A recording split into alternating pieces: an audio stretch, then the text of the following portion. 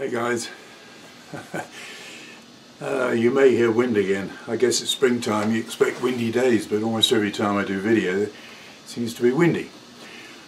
Uh, anyway, the prime purpose of this video is to turn a second bore with the Mark II boring head version. I've made some new tooling which uh, on first test is quite encouraging. The um, Mark 1 ball turner, I've made some new tooling for that which also helps but again I'm limited on the uh, swing towards the chuck for uh, access for the tool so that that's probably almost going to be abandoned but I may tighten it up yet. So anyway I'm going to start off with just a few odds and ends and then I'll set up the uh, blank that I've made set that up in the four-jaw like I did last time and uh, we'll try and turn a ball with the new tooling. Here, I'll listen to that. the sun's shining, I suppose that's a bonus. Okay. Alright, the first thing on catch up here is uh, the tooling I've made for this. It's just a piece of 3 8 and I've ground that to a fairly conventional, there's no back relief on the uh, top here but it actually cuts quite well so it's an improvement. Incidentally the hole, to make the hole I got one of these. It's an R2 it'll just about drill anything. I saw somebody else using one drilling through a piece of uh, drill rod. And I managed to get this through the uh, HSS pretty difficult gets damn hot but it works. I'm quite impressed with it. It's got a carbide tip. Uh, so that's uh, that's this one with different tool. Now this may or may not show I can't see whether it will I think so hang on a minute that's what I've done with the tooling on the boring head. So we've got a half inch which has been drilled at an angle. I think the final angle actually is about 10 degrees to give the necessary angling on the tool bit. Tool bit is a piece of uh, yes the uh, tool bit is a piece of square 3 16th square. Uh, and by using a diamond lap on the corners it fits my quarter inch drilling in here. And we've got a grub screw to retain it. Uh, there's a little bit of leeway for rotation of the tip. And at the moment I've got it set up fairly well I think so I'm not going to take it apart to show you uh, I'll show it to you in situ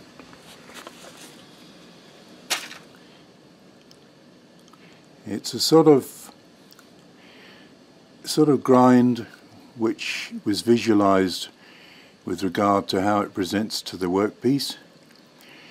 Generally it cuts quite well if the cut isn't too big and chatter is fairly minimal. I haven't yet done a full ball, I just did some tests on the end of a, a piece of round. So I'm going to set up the four jaw and uh, see what we can do.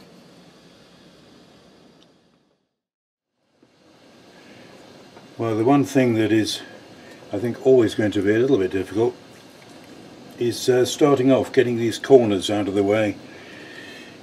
Uh, the tool's taking a sort of oblique slicing cut in that situation but I found when I did a first test that the performance improves as we get further on so uh, I've made a start here. I'm going to take it further and then we'll come back and shoot a bit more video on it. Well, still not the ideal tool, but it's better than the other one and it's a worthwhile experiment. The uh, adjustment of it this way, because I've got an oblique face, got to try and find the sweet spot. That's the main thing.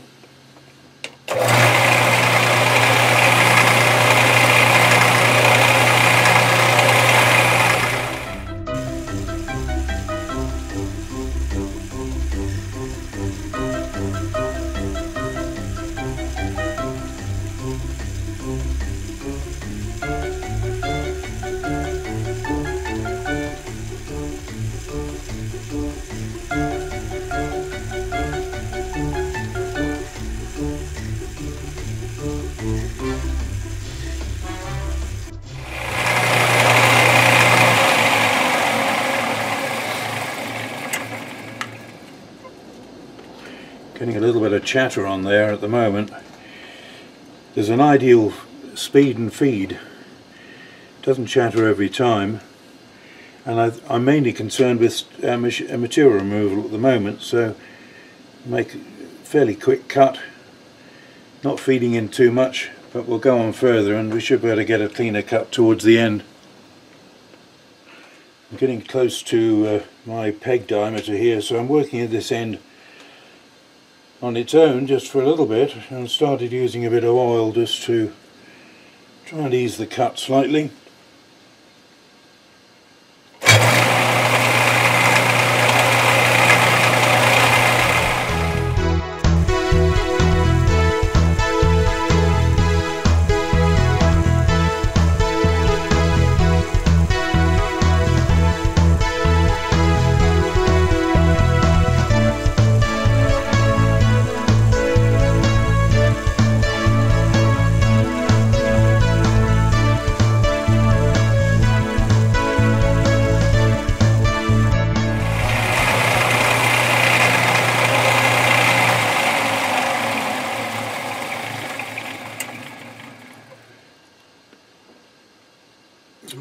To go on that and then uh, see if we can finish that in without too much chatter. I worked on the rear here quite a bit, almost as far as I can go, uh, concentrating on this front section. Still getting a bit of chatter now and again, depends on the uh, feed rate etc. So not the ideal tool but it's a damn sight better than the boring bar I used first time.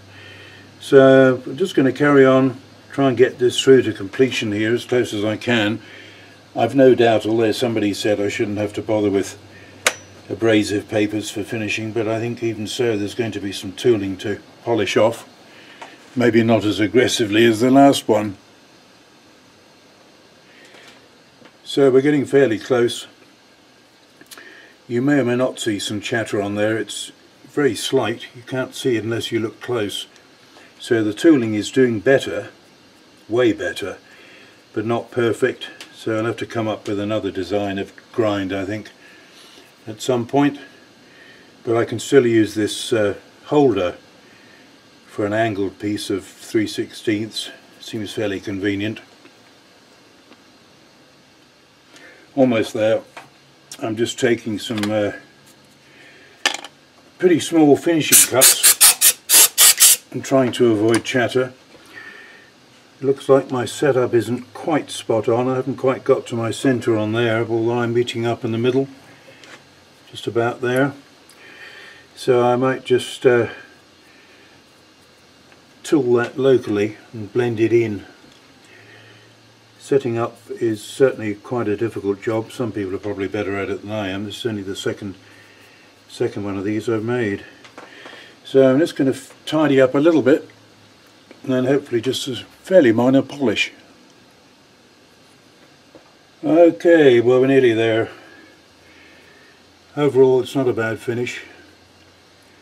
So there's a little bit of chatter but uh, my settings on the uh, setup here were probably not quite spot on. I haven't quite reached the centre there so I should probably cheat so there'll be another incarnation yet with some other tooling but anyway it was interesting to try something a little bit better. So there we are bit of polishing cream compound and uh, managed to blend in a little bit here that I'd missed which wasn't very much. And uh, still a certain amount of machining marks here and there. Certainly right in by, by the thread there is not an easy area either from the tooling point of view or um, I've got a slight spot at the end. I may have got a, still got a little uh, little spot there. That was the end result of uh, facing off the blank. Anyway, overall cutting was better albeit rather minimal cuts with the right tool I think we could take much bigger cuts Somebody's probably got a much better idea for tooling, but I'll work on that. There we are. Thanks for watching.